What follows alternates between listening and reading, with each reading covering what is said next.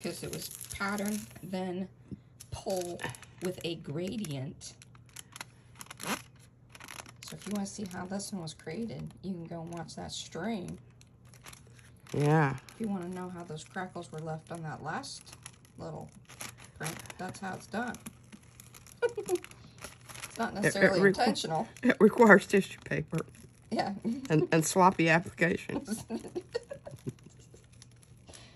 Try not to giggle too much. Shakes the camera. I'm trying not to cough. But look at that. Look at that. So that was the Pebeo, Pebeo, Pebeo, however you like to say that, in three colors. Again, if you want to know, watch the stream. Look at that iridescence in this. Yeah. look at Ooh.